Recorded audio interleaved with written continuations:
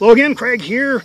Gonna talk about the latest ignorance on the internet about the radioactive water going to be released from Japan. Okay, anytime there's a mainstream report, we just seem to get tons more, uh, million tons more of uh, hotheads who have no clue about radiation or what's involved here. All right, there's about a million tons or more of radioactive water is going to be, that they want to release, Japan wants to release from the storage tanks around on the Fukushima Daiichi nuclear power plant site. They want to release this water into the Pacific Ocean. There's not really any other choice. They're going to have to do it. Uh, but they have a consortium of scientists that are looking into this, trying to determine what the best method is to deal with the situation. Okay, this water has been removed from the reactor buildings, which three of them melted down, and it's been treated, that's what everybody fails to mention. This water's been treated. Almost all the isotopes have been removed. By simple filtration, basically, most of the isotopes can come out with filtration. However, one element, tritium, cannot be filtered out the same way as the other isotopes can, so they can't really remove the tritium. See, tritium is a, basically it's a hydrogen, uh, a radioactive hydrogen, and when it bonds with oxygen, it's got triated water, tritiated water, and it basically makes the water radioactive. Okay, it, it's mildly so. And something else everybody fails to mention, tritium is a natural, it's, this tritium is undistinguishable what nature produces from the atmosphere. Yeah, there's trace amounts of tritium everywhere in the world in water already. This water has already been treated the best they can. I see so many ignorant comments on all these comment sections on YouTube videos. Oh, we need to blast it off into space.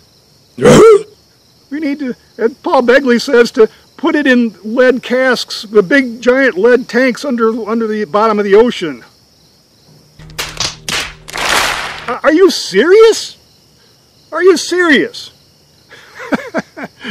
okay, there's so much ignorance about this there's really no other way, way, to deal with it but to release in the water, release it into the ocean. And and no, it's not going to kill the oceans. And no, the oceans aren't dead. You know, they haven't been dead. It, what everybody else keeps screaming about is, well, they've been doing this for eight years. Well, no, they have.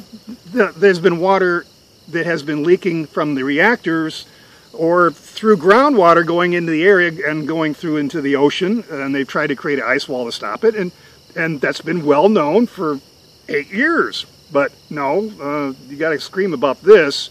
This this has been treated water. The other ones wasn't treated. What is your problem? This water has been treated. It's been all the, most all, all the isotopes have been removed. So it's safer than the water that's been disposed of in the water by not by choice, but by necessity, just by the by nature and groundwater flow. The water going into the Pacific Ocean. And no, it hasn't killed the Pacific Ocean. It won't kill the Pacific Ocean. Don't you all realize, and I'll put links all over on the description box about this, don't you realize that so many more thousands of tons of radioactive waste was dumped into the world's oceans for many, many decades by 14 countries?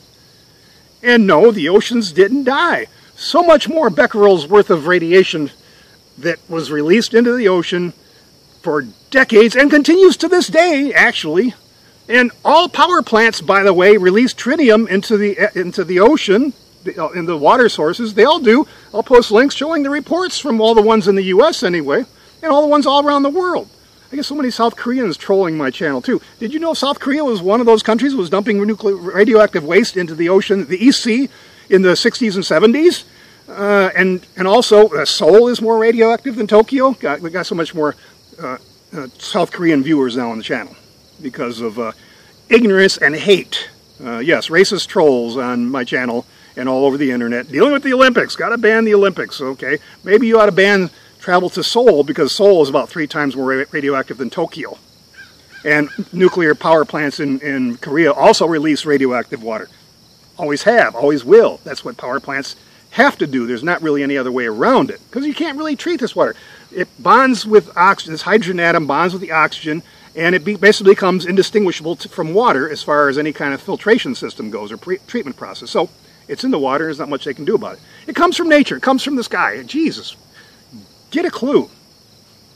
So the fear mongering continues. Uh, I don't know why we even have to go with topics like this, but just everybody is so stupid on this. It's this has got to stop.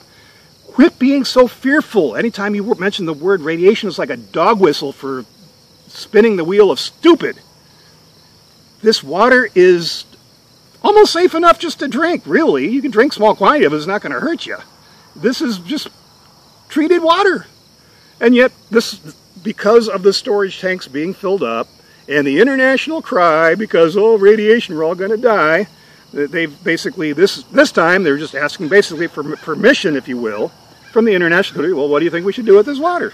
We want to dump it in the sea. Do you have any better ideas? And of course, there won't be any better ideas because there are none. That's really the only choice they have. It get, will get so diluted by the world's oceans that you won't be able to measure it anywhere in the world any more than you already can measure in the water. And it wasn't because of Fukushima. You can any water sample of any surface water around the world, you're likely to find tritium. It's just nature. So get a clue or get off the internet. I have lots more videos on, on my channel dealing with this type of subject if you're just new to this channel. Uh, and thanks everybody for watching.